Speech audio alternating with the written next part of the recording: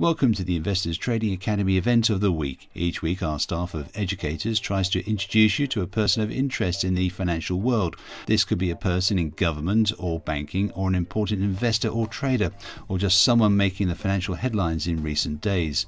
With the Federal Reserve dominating global headlines, the newest member of the Fed has been receiving his fair share of press coverage. Stanley Fischer took office as a member of the Board of Governors of the Federal Reserve System on May 28, 2014, to fill an unexpired term ending January 31, 2020.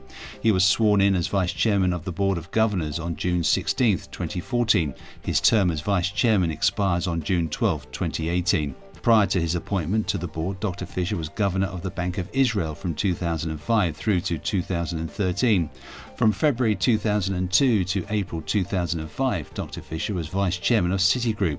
Dr. Fischer served as the first deputy managing director of the International Monetary Fund from September 1994 through to August 2001. From January 1988 to August 1990, he was the chief economist of the World Bank.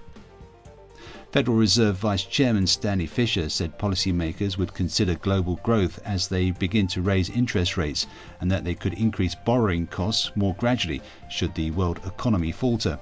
If foreign growth is weaker than anticipated, the consequences for the US economy could lead the Fed to remove accommodation more slowly than otherwise, Fischer said in a speech Tuesday at Tel Aviv University. His prepared comments were similar to remarks he delivered in October.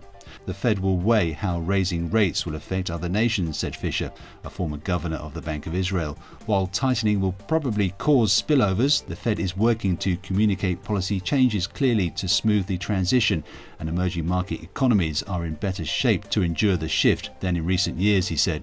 Fed policymakers preparing to raise rates that they've held near zero since 2008 are working to engineer a smooth tightening and avoid the volatility spurred by the so called taper tantrum that riled global markets in 2013. Fischer, 71, joined the Fed a year ago.